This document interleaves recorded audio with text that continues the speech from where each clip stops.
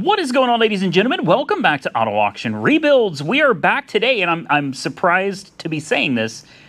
We're going to be trying to perform $2,000 worth of service on my 2021 Ram 3500 that I didn't think was going to need any real service other than basic maintenance for years to come.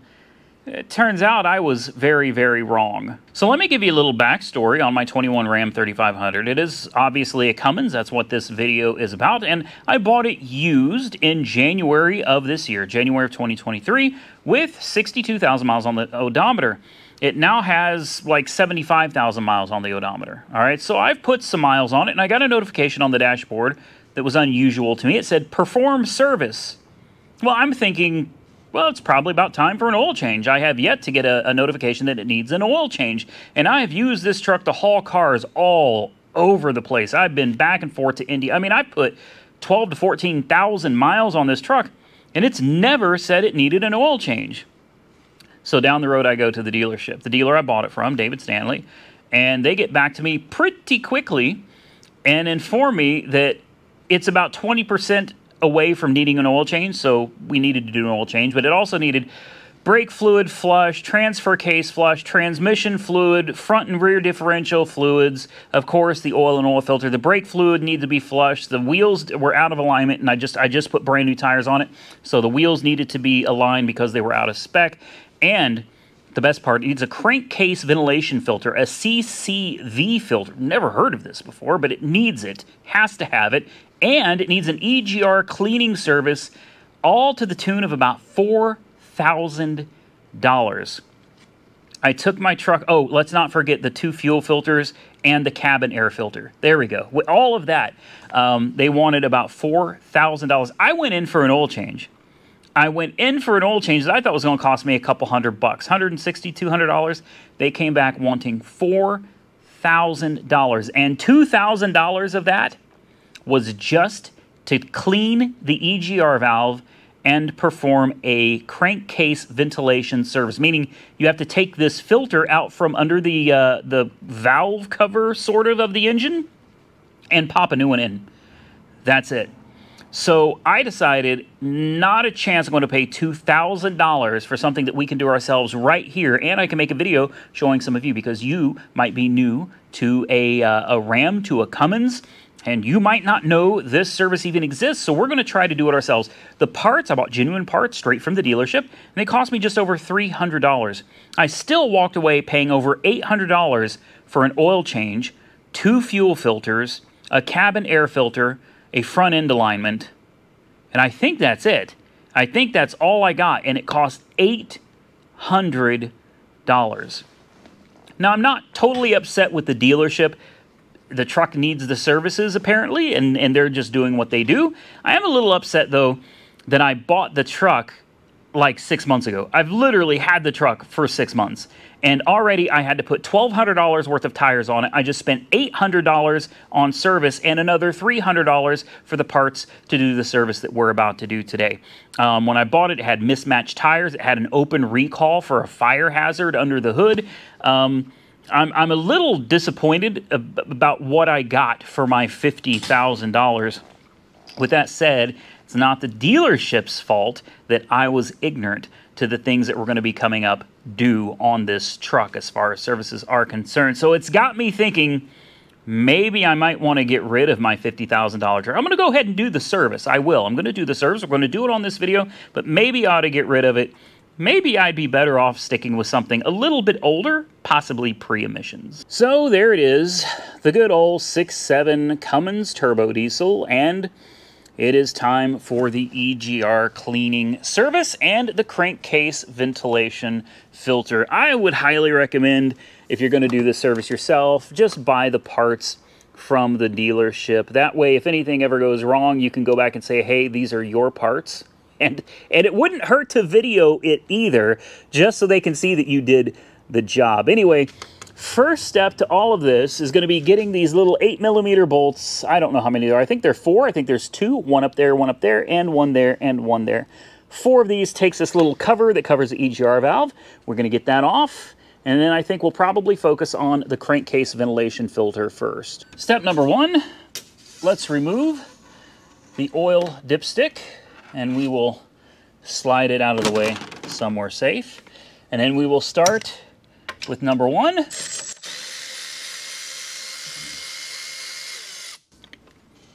And let's be very careful not to lose anything.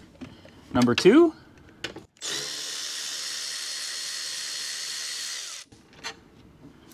Three.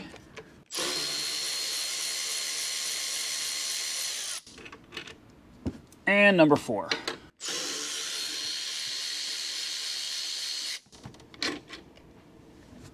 Here we go. With those four eight millimeters out of the way, this should just pop up and out. So here's our EGR valve, and I apologize for the flickering. There's nothing I can do about it. It's just the way the, the light is affecting the camera. But uh, you got an 11 millimeter V-band clamp right here. You got to take that off. Looks like one, two, probably two more on the other side, 10 millimeters, and a plug right here. And then you should be able to remove the EGR valve. And if you're wondering what you use to clean the EGR valve, well, they told me at the dealership, the tech came out and talked to me. He said, degreaser. He said, let it soak for about three hours in degreaser. But he said, be very, very cautious about getting any of the electrical components wet or getting degreaser on them because you could ruin the EGR valve. And on this 2021, this EGR valve looks totally different than what I saw on some of the other 6.7s. So uh, we're just gonna have to kind of wing it on this one. Next though, we're gonna focus on the CCV filter. We're gonna take these bolts right here out. We're gonna pop this off and underneath this cover, it looks like a valve cover, right? This is not a valve cover, okay? This is a cover that houses your crankcase ventilation filter. So let's pop all of these off. There's a couple right on the back here. You can see you've got a wiring harness sitting back there. So going to have to be very careful with that. Move that out of the way. Let's pop this off and underneath we will find our CCV filter. All right, let's get these off. Now, there are some wire harnesses uh, back here that you're gonna have to pull off of these studs. It's super easy, guys. There's there's no there's nothing to this. It's not a big deal.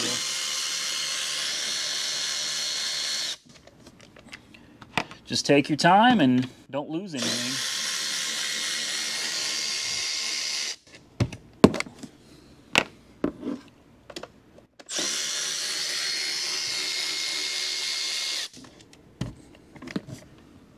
We're almost done this part.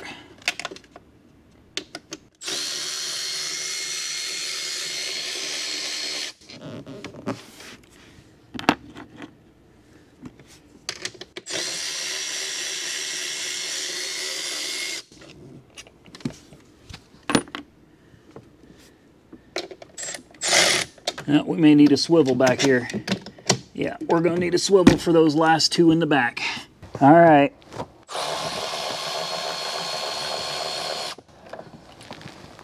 And one more.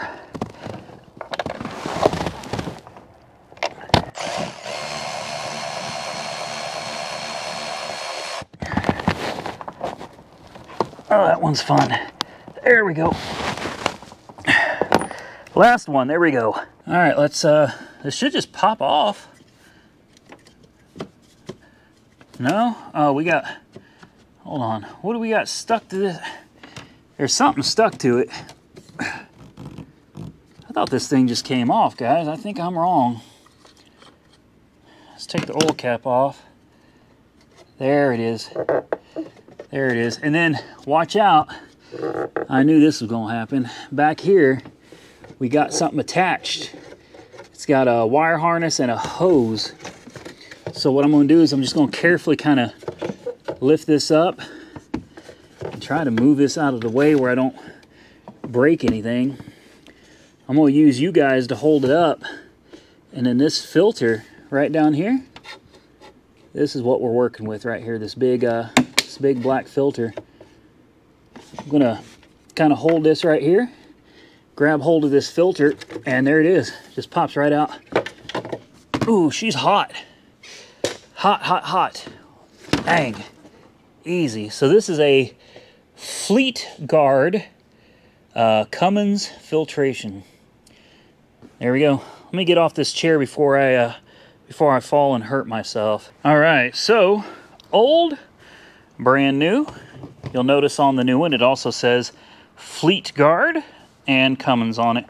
Exactly the same. One thing you're gonna wanna do though is get a little bit of oil, lube up these O-rings before you go slapping this back in. It'll make things go together a whole lot easier. I'll tell you what, this one, this one weighs a ton. And look how nasty that is. Just covered in oil and soot. It's pretty pretty gross. And I'm telling you, this thing weighs a ton. So I'm sure it's full. This thing right here is super light. If we had a scale, man, this thing, that thing right here, that's heavy. We're going to put some oil on those O-rings. We're going to pop it right back in. And there's your CCV service right there. It was as easy as that. Now, if you saw this little kit over here, this is for the EGR valve. Just some extra gaskets. Um, two of them for sure that I'm going to need. There's one in here that they said I probably won't need. I can reuse the old one. But unfortunately, you're supposed to have two of each of these gaskets, and I've got two of one set, but only one of the round one. But the tech said I probably won't even need the round gasket, but he said for sure change those change these EGR base plate gaskets. Let's go ahead and take our new filter, which is oiled up on all the O-rings there. Nice and shiny. Let's get this back in. And uh, I'm just excited to get the damn light off my dash that supposedly is going to end up putting this thing in limp mode because of this filter.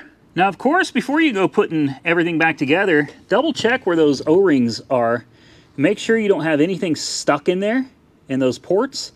Uh, you wouldn't want to have anything in there, any debris that could tear up these, uh, these O-rings. You want everything to seal up nicely. So mine looks good, which means we should be able to get you guys back. Let's see if we can put you back into position here.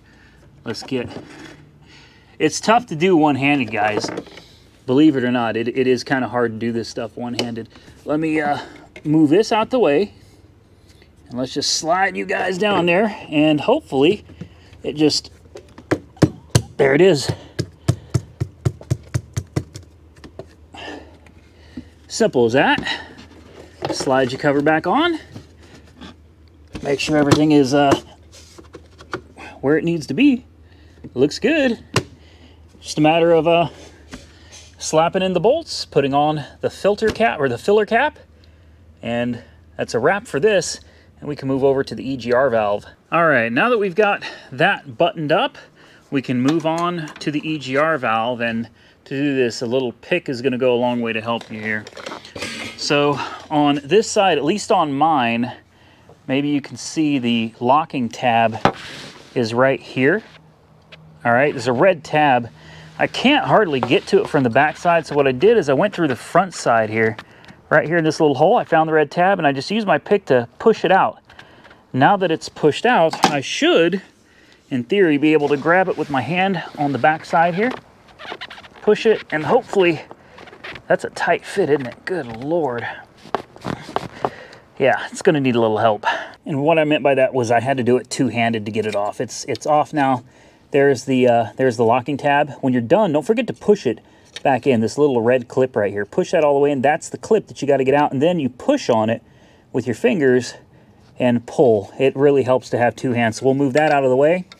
And we're not far from being done. We've got a 10 millimeter there, a 10 millimeter here, a 10 millimeter here, 10 millimeter here, and an 11 millimeter, I believe, on this V-band clamp. And then the whole EGR valve assembly should pop right off. So do this however you want, but I'm going to start with this V-band clamp right here.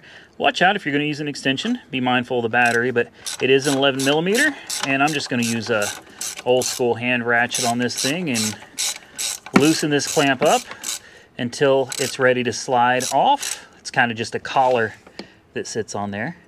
And uh, then 410 millimeters, and we should be good to go. All right, now there is a little bit of a trick to this, and I want to show you, because if you don't know it's there, you're going to be fighting this thing for a long time.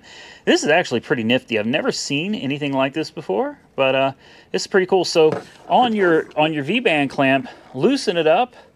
I mean, as far as you want to, really. Get it good and loose. But then you're going to push in on this backside, and look what happens when you push in on the stud on the back. Look at that. Yeah, like a little T-fitting and when you go to tighten it back down, make sure you push the clamp in and get that T-fitting locked back down in there. Look at that. Push on the back, comes out, push it right back in, then you can tighten it up. That is pretty nifty. So we're gonna put that right there. We've got everything off now except for the four 10 millimeter bolts. Let's get this thing off and see how bad it looks underneath. God, those are tight. Wow. Oh my goodness. Okay, just be aware of that. I don't know if anybody's ever been in here before, but good Lord. That's no joke. And definitely don't lose your bolts here. Oh, yeah. Those are pretty tight. So, we'll be sure to put them on tight. Let me put this thing back together. All right. This should be the end right here.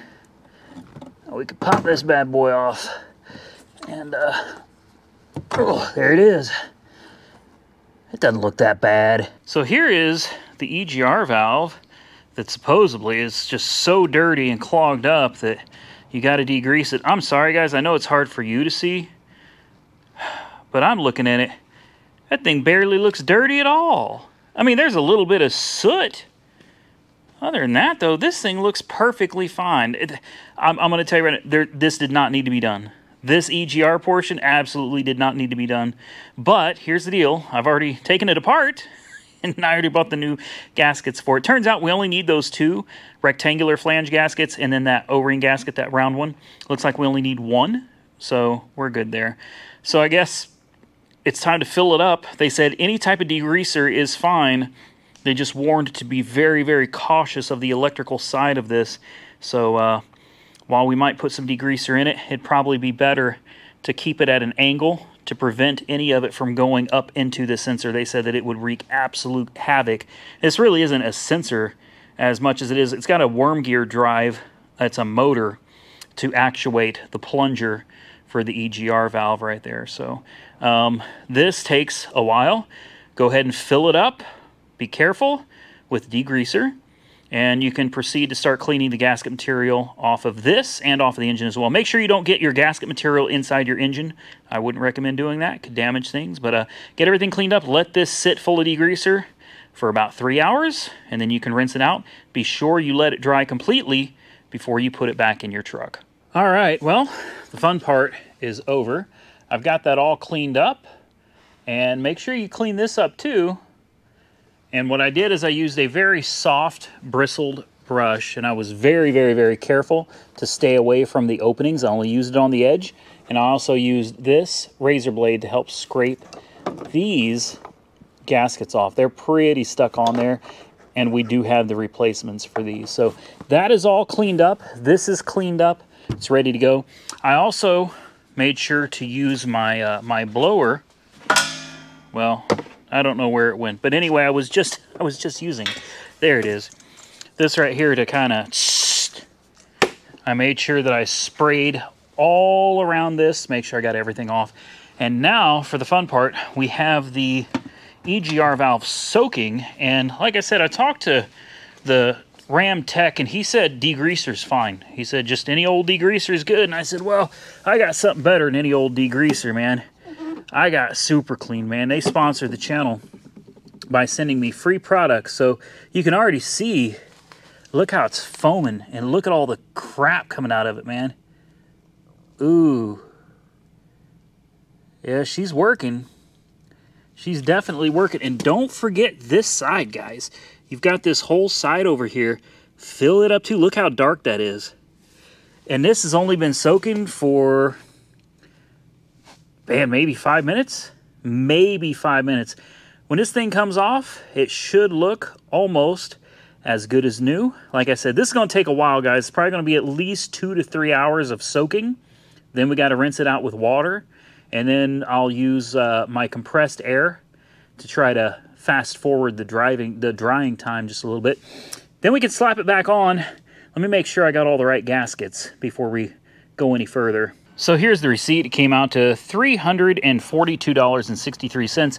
And we have a uh, we have two of these 68005 184-AA gaskets for the EGR valve. Those are 40 bucks. We have the 68002433-AC, which is the breather. This breather, $255 No joke. And then we have one 68027035-AB.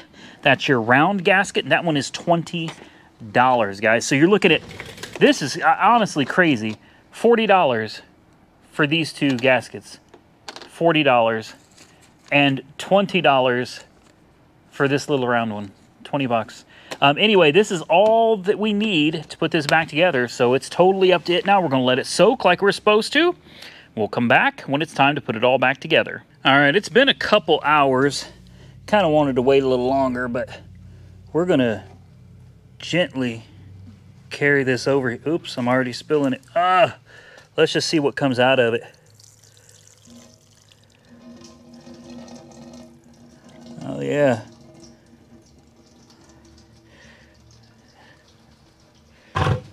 I mean, it's an EGR valve.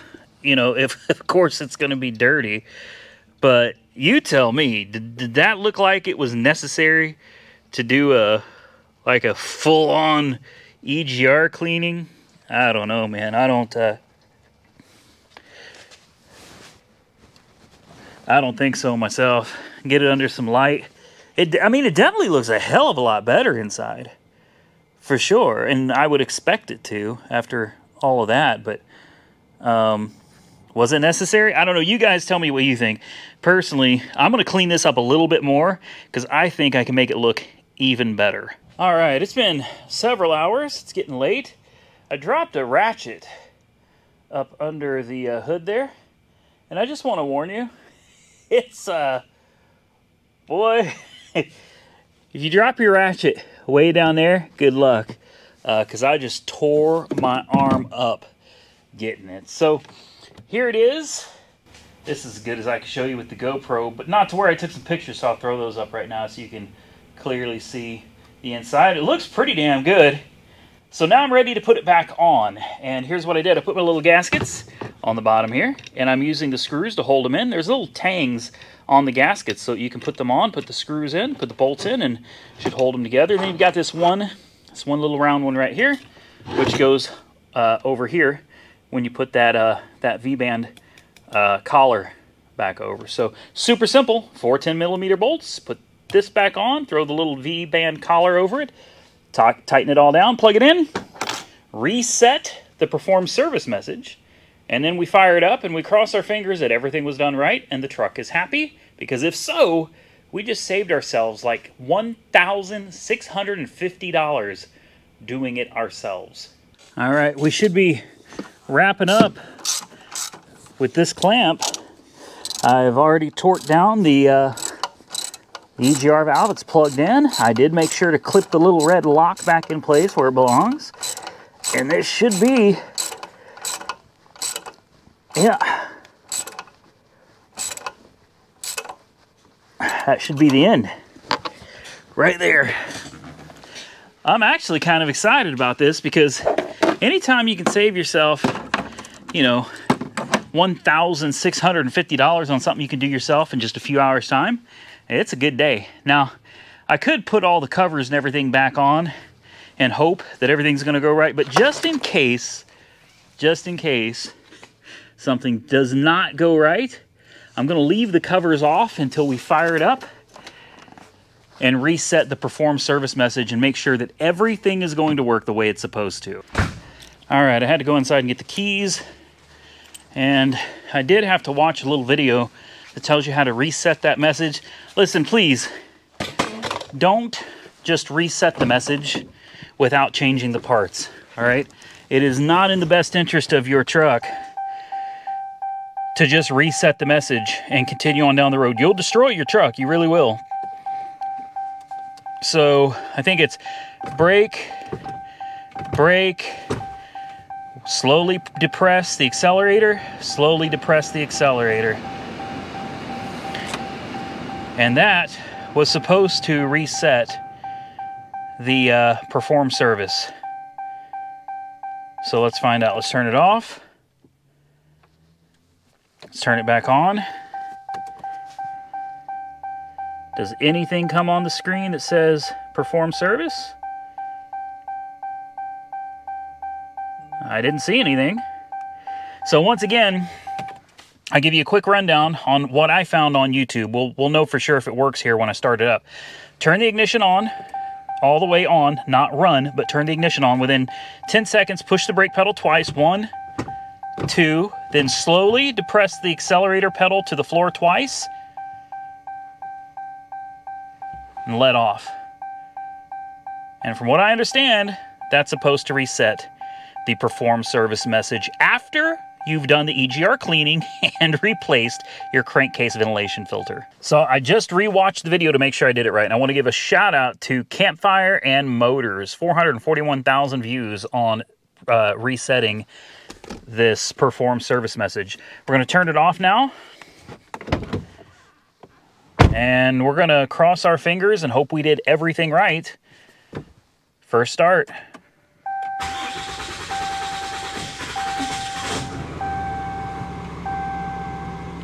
And that perform service message will come on almost immediately, usually within just a few seconds of starting it. I get a permanent message on the dashboard that says perform service. So far, I'm not seeing it.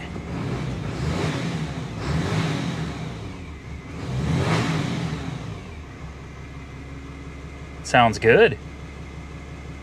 it sounds good and no message on the dash. Perfect. Come back here to the exhaust. How's she sounding? Nice and quiet. I'm gonna crack this door just a little bit. Make sure we don't suffocate in here. I'll leave it about like that. Let's come up to the engine bay. We'll double check a few things, make sure we don't have any leaks.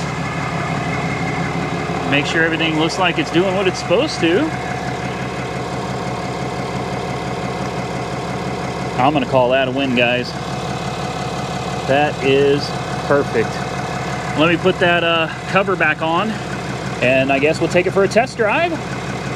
And as long as nothing goes wrong, we're gonna call this a wrap. All right, she is buttoned up.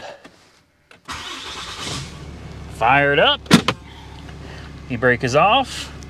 Double check on that message one more time. Nope. Perfect.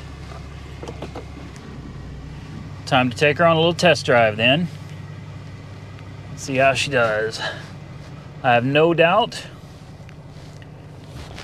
that everything's going to be exactly the way it's supposed to be.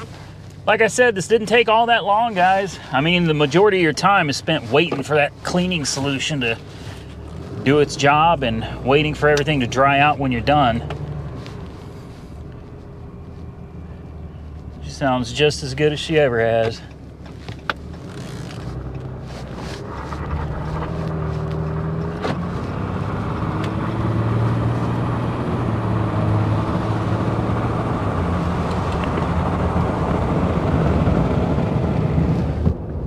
Not a problem. Running like a top. I'm just going to drive it a couple miles. Not going to go very far with it. Just take it a few miles, turn around, come back, and then we're going to call this a success. Well, I guess we can call that successful. Wasn't too complicated. Didn't take a whole lot of time. I took it out on its little ride. It did absolutely great. I mean, I'll be honest with you, it doesn't feel any different than it did before, but uh, I guess as long as the truck is happy, that's all that matters. I consider this a job well done and not something that needed to be done by a dealer. Let's pop the hood real quick. Take one last look around under there.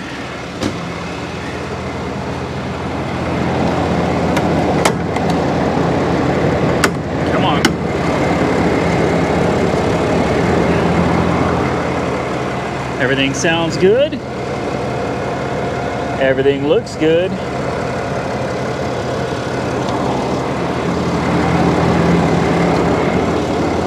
All right. Well, I think that's a wrap, guys.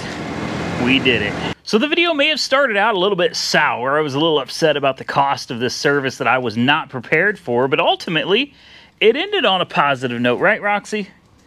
It did. It ended on a positive note, didn't it, sweetheart? Yes, it did.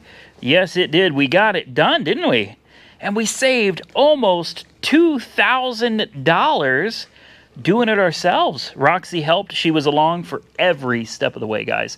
I could not have done this without this dog.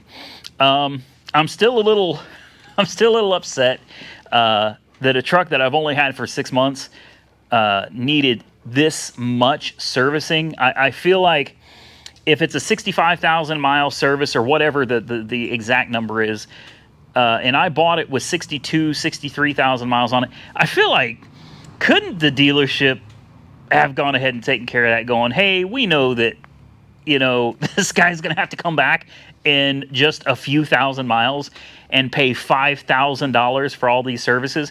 I guess that's business though, right? It's it's it's business because I'm going to have to come back and pay all that money to the dealership to do all that work. So, I mean, I get it. It makes sense from a business perspective. I completely understand it but it doesn't piss me off any less. I should have known better. I should have done more research, and I should have seen this coming. And again, I'm not blaming the dealership for it.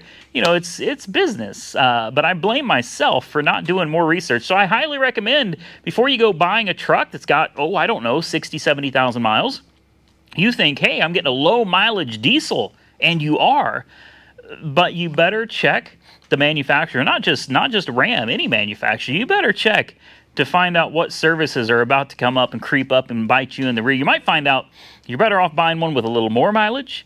Maybe you're better off buying a brand new one. I, I, I don't know. Do whatever works best for you, but this video was mainly about doing it ourselves. DIY on the six-seven Cummins, man. And I had a good time aside from tearing up this arm, but that's my own fault again for dropping the ratchet.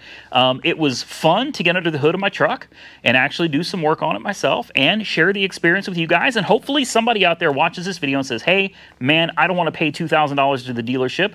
I'm going to do this myself. Go get you those parts. You'll spend a few hundred bucks and take a few hours of your day, get out there and enjoy yourself, work on your truck, and have fun because at the end of the day, that is what it's all about. I want you guys to drop a comment below and tell me what you think, though, because here's one more time, and I'm going to get out of here. I'm still considering getting rid of the truck because I'm sitting here thinking I pay $1,100 a month for the truck, probably another two or three hundred dollars for insurance. I have no idea what I pay for insurance. I've got so many cars, but I would guess two to three hundred dollars a month. So let's say two hundred. So we're paying about thirteen hundred dollars a month for this truck but it needs it needed $5,000 worth of service. To me, that's just mind-boggling, paying that much per month and still having to pay out that much for service. I feel like I could go out and buy a $10,000 diesel truck. Right. In fact, I'm looking at one right now. It's a 2003 Ram 2500. It's got a flatbed, which I, I think the flatbeds are kind of cool. Not very useful, but they're cool looking. Single rear wheel, Cummins, of course and it's got no emissions. You know, it doesn't come with emissions. It doesn't have any of that SCR, DEF, EGR. It's got nothing. It's just a bare bones. It's got like 500 foot pounds of torque. It's got plenty of normal creature comforts and a decent interior that, you know, you could live with today. And it's 10 grand. $10,000. I could have that. And I'm thinking for the $1,150 I pay a month for this truck, plus insurance, right around $1,300 a month for this truck um, my insurance would go down substantially on an older truck because it's not worth as much. And instead of paying $1,150 a month for a truck, I wouldn't be paying anything because it'd be cash money. It'd be paid for. And let's say I do blow it. Let's say the Cummins pops, right? And you need a motor. How much is a Cummins? 12,000? $12,000? That's one year's worth of payments on this truck. One, one year.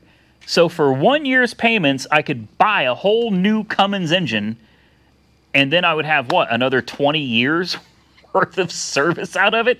It's kind of got me thinking, man, is newer really better? I don't. I'm starting to think. I'm starting to think my mentality has been wrong this whole time. Maybe buying something that's already depreciated and just maintaining it is better. Drop your comments below and tell me what you think. Would you keep the 21 Ram 3500? Paying those monthly payments, God, I'll be paying on this thing for another six years, guys, six and a half years. Or go buy something for cash and fix what needs fixed and drive it. Till next time, stay safe out there, everybody. I look forward to seeing you all again very soon in the next one.